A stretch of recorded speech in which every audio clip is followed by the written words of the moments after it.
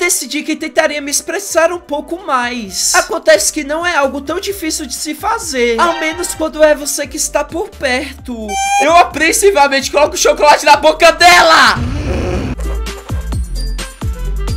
Agora eu vou compartilhar agora com a Sayori, que eu tô um pouco com medo do que, que aconteceu com a Sayori, que ela tá triste. É bom, eu acho. Qual é? Posso perceber que você não gostou dele. Bem, acho que você não precisa se preocupar com isso. Afinal de contas, você escreveu isso para outra pessoa, não foi? Provavelmente para a Yuri. Cara, ela tá com muitos ciúmes. Hã? Eu não escrevi esse poema para ninguém específico. Talvez. Mas não foi realmente isso que eu quis dizer. Mas está tudo bem. Não tá tudo bem, não. Você está fazendo novas amigas assim como eu queria. Eu acho que ela não queria, não. Acho que ela queria o Eitata só pra ela. Isso me deixa realmente feliz, aham. E você também está feliz, certo? Nesse clube? Bem, é claro que estou. Bom, isso é tudo que importa para mim. Obrigada, Eitata. Sayori. Tem algo errado? Tem sim. Não, nada. Só estou um pouco cansada hoje.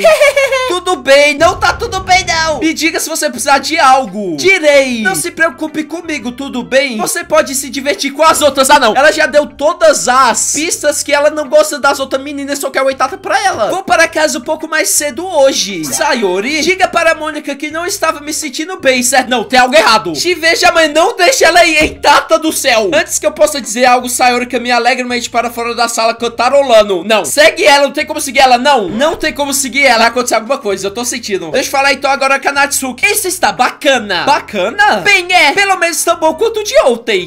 Entendo o que você está tentando fazer, mas só não é o meu estilo. Quer dizer, não tem nenhum problema nisso. Estou muito feliz por você estar tentando um pouquinho. Bem, é claro que estou ao menos tentando. Mas afinal de contas, por que você está tão emocionalmente envolvido em meus poemas? Isso não seria um elogio para mim? Ah, não, não, nojento! Não é como se eu me importasse. É só que uma de nós desse clube tem que certificar que você não está relaxando. Sério? Bem, se você acabar se afugeitando? Isso é...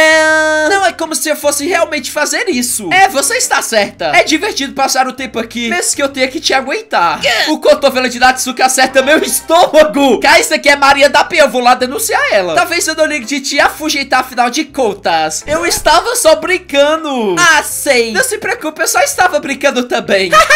Como você chama isso de brincar? Isso é agressão. Alô, polícia? Eu realmente tenho que tomar cuidado com a minha boca perto da Natsuki. Natsuki me entrega seu poema como se nada tivesse acontecido. Eu serei sua praia. Sua mente está tão cheia de problemas e medos. Isso diminuiu seu encanto ao longo dos anos. Mas hoje tem um lugar especial, uma praia para nós irmos. Uma costa que ultrapassa sua vista. Um mar que cintila com uma luz brilhante. As paredes de sua mente irão derreter. Diante do brilho ensolarado. Eu serei a praia que lava suas preocupações. Eu serei a praia que você sonha durante cada dia. Eu serei a praia que faz seu coração pular. De certa forma, sua mente o deixou há muito tempo. Vamos enterrar seus pensamentos pesados em uma pilha de areia. Banhe-se nos raios de sol e segure minha mão. Lave suas inseguranças no mar salgado. E deixe-me ver você brilhar. Deixe suas memórias em uma trilha de pegadas. Liberte-se minha vela veitosa. E lembre-se dos motivos pelos quais você é maravilhoso. Quando você pressionar seus lábios contra os meus. Oi? Será que ela fez esse poema pensando no Eitata? Eu serei a praia que lava suas preocupações. Eu serei a praia que você sonha durante cada dia. Eu serei a praia que faz seu coração pular. De certa forma, sua mente o deixou há muito tempo. Mas se você me deixar ao seu lado, sua própria praia é sua própria fuga. Você aprenderá a se amar novamente. Nossa, eu amei esse poema! Ó, oh, esse poema foi bonito, bate palma. Esse poema que eu entendi e achei bonito. Você quer esse poema, Yuri? Tome, Yuri. Nossa, Natsuki. Eu senti como se estivesse escrevendo sobre coisas negativas. Então eu queria escrever algo com uma boa mensagem dessa vez. Além disso, a praia é incrível. É difícil escrever algo negativo sobre a praia. Não é não, você vai falar a praia pegou a menina e levou ela pro fundo do mar Afogou ela e matou ela. Bem, o poema de Yuri sobre isso foi um pouco mais solene. Droga, é melhor ela não ter falado nada de ruim sobre o meu. Afinal de contas, foi ela quem quis que escrevêssemos sobre o mesmo assunto. Ah. Dá pra ver ela fazendo isso. Nos fazendo escrever sobre um assunto simples. Então tentando me pressionar por escrever algo todo chique. Bem, não é como se eu me importasse. Quer dizer, o meu também ficou um pouco metafórico. Mas não tem nada de errado em fazer isso de vez em quando. Ao menos foi bom praticar. Tá, então bora mostrar agora o problema pra Mônica. Olá, Itata. Já pensou no que irá querer representar no festival? Bem, estar nesse clube é uma coisa. Mas se representar na frente de um monte de pessoas. Vou ter que pensar mais um pouco. Tudo bem bem, sem pressão. Mas seja lá o que fizer, tenho certeza que ficará ótimo. Também me deixará feliz poder ver. De qualquer forma, vamos dar uma olhada no poema de hoje. Esse ficou bom! Parece que você não só está ficando mais confortável com o seu estilo, mas a figura de linguagem está melhor do que no último que eu li. Estava só imaginando, mas você está se inspirando no estilo de escrita da Yuri? Ah, acho que sim. Você não pode negar que ela é talentosa. Sim, totalmente. Eu acho que os poemas dela são os mais românticos. Essa é a melhor forma de descrevê-los. Romântico. Pra mim aquilo lá é sobre morte. Ela é uma pessoa completamente diferente quando pega uma caneta. Ou quando ela está falando sobre literatura, é como se uma luz se acendesse dentro dela. Ah, infelizmente é difícil ter uma conversa pessoal com ela. Quem sabe o que se passa na cabeça dela? Espero que você não esteja dizendo isso de forma ruim. Não, é claro que não. Só queria que ela não guardasse tanta coisa para si mesma. Mas ainda assim, defendendo ela desse jeito, você deve gostar muito dela. Você entendeu tudo errado. Se acalma, eu estou só brincando. Além disso, tenho certeza que ela já tem um namorado. Quê? Espera aí, sério? Sim, um namorado fictício. Claramente eu namorando com os personagens do jogo. Vou compartilhar o meu poema com você agora, tudo bem? Nossa, que poema pequeno. A dama que sabe tudo. Um velho culto fala de uma dama que vagueia pela terra. A dama que sabe tudo. Uma bela dama que encontrou todas as respostas, todos os significados, todos os propósitos e tudo que já foi procurado. E aqui estou eu, uma pena, perdida à deriva no céu, vítima das correntes do vento. Dia após dia eu procuro, procuro um pouco de esperança, sabendo que as lendas não existem. Mas quando tudo mais falhou comigo, quando todos os outros se afastaram, além de tudo que resta a última estrela fraca cintilando no céu crepuscular, até que um dia o vento deixa soprar, eu caio, e eu caio e caio e caio ainda mais, gentil como uma pena, uma pena seca, inexpressiva, mas uma mão me pega entre o polegar e o indicador, a mão de uma bela dama. Olho para os olhos dela e não encontro fim para o seu olhar. A dama que sabe tudo, sabe o que estou pensando. Antes que eu possa falar, ela responde com uma voz vazia. Eu encontraria todas as respostas, todas as quais equivalem a nada. Não há significado, não há propósito. E buscamos apenas o impossível. Eu não sou sua lenda, a sua lenda não existe. E com um sopro ela me lança de volta ao ar e eu sigo uma rajada de vento.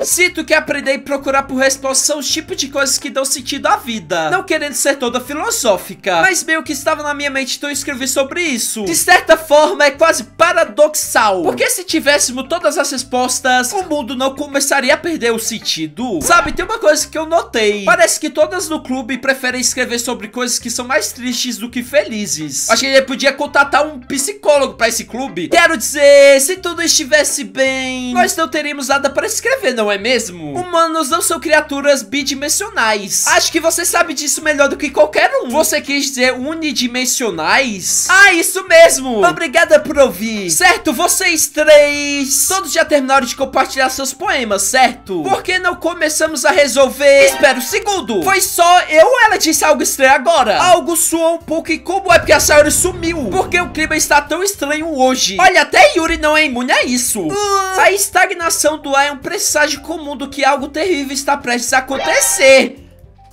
A única coisa diferente é que a Sayori não está aqui. Parece que você está certo. Sayori sempre ajuda a aliviar o humor, não é mesmo? Até parece que o equilíbrio de todo mundo é levemente afetado quando ela não está por perto. Para onde ela fugiu, afinal de contas? Eu achei que ela só tinha ido ao banheiro. Ah, ela na verdade não estava se sentindo muito bem e foi para casa mais cedo. É isso então? Espero que ela esteja bem. Sério? De todas as vezes para não ir com ela para casa, você escolhe a vez que ela não está se sentindo bem.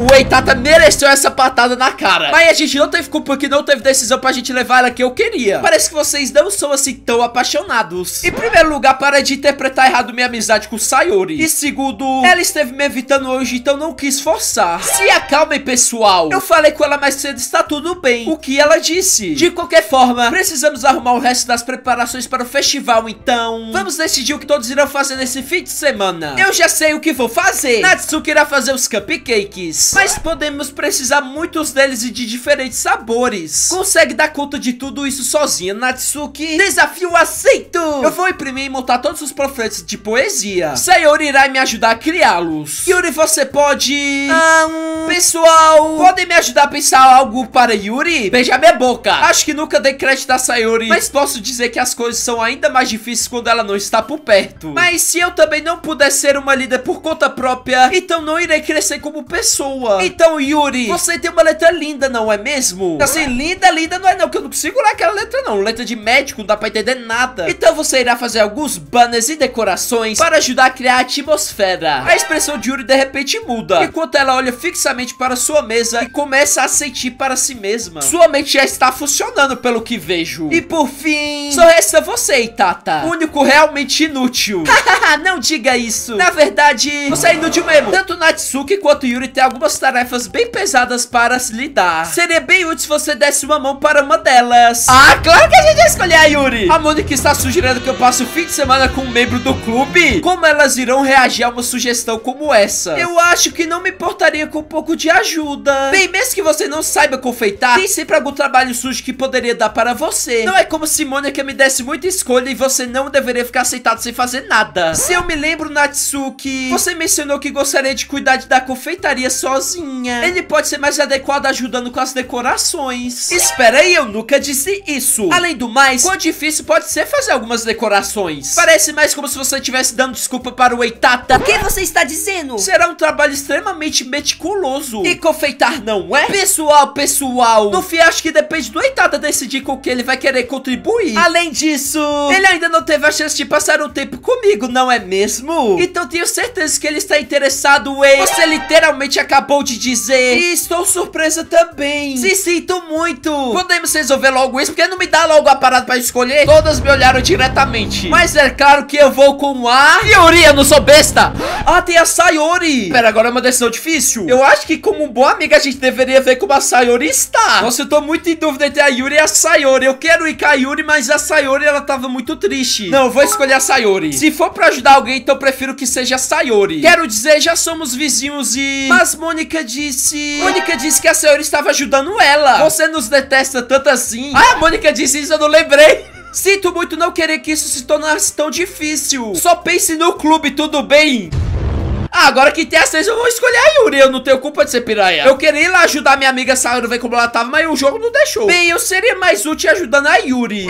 Eu? Está falando sério? Então você vai ajudar a Yuri, hein, Tata? Estou feliz. Tem um péssimo hábito de cismar com esse tipo de coisa. Então acho que sua ajuda será muito útil. É ótimo ouvir isso. Então, isso é tudo que precisamos resolver? É, acho que é isso tudo. Vocês estão todos animados? Eu tô muito animado pra ir pra casa da Yuri. O que vai acontecer lá? Bem, animado talvez não seja a palavra certa, mas suponho que estou um pouco ansiosa. Sente o mesmo, Eitata? Ah, pode dizer que estou interessado em ver como as coisas vão se sair. E quanto a você, Natsuki? Natsuki... O quê? Por que estão todos gritando comigo? Eu não fiz nada. Eu sinto muito por isso. Eu realmente não sei por que Itata me escolheu. E além disso, seus cupcakes são os melhores cupcakes que eu já comi. Eles combinam muito bem com o chá. E nada que eu fizer para o evento irá se comparar com eles, então... Entendi, entendi. Mas estou um pouco surpresa. Bem, sou eu que está agindo de forma imatura. Mas de repente você está tentando me animar? Eu, eu sei que não sou muito boa nisso. Sinto muito se disse algo ruim. Natsuki não é a única surpresa. Mônica e eu também fomos pegas de surpresa pelas palavras de Yuri. Já tendo dificuldades com as palavras, tentar animar alguém deve estar longe de sua zona de conforto. Mas começar a entender. Yuri estava tentando se parecer com a Sayori. Mesmo que não tenha funcionado perfeitamente, ela tentou dizer algo que a Sayori diria em um momento como esse. Porque a Sayori sempre ajuda todos a sorrirem e a se sentirem bem consigo mesmos. Ah, tô sentindo falta da Sayori, a gente devia ter ido com a Sayori. Sinto muito por causar todos os problemas por nada. Mas vou te dizer uma coisa. Pode apostar que meus cupcakes vão ser a melhor parte de todo o evento. Vocês estão sendo tão gentil uma com as outras, tem alguma coisa errada. Espero ver todos dando o seu melhor. Não tem mais nada para hoje. Então acho que é hora de irmos. Tudo bem, vamos dar o fora daqui.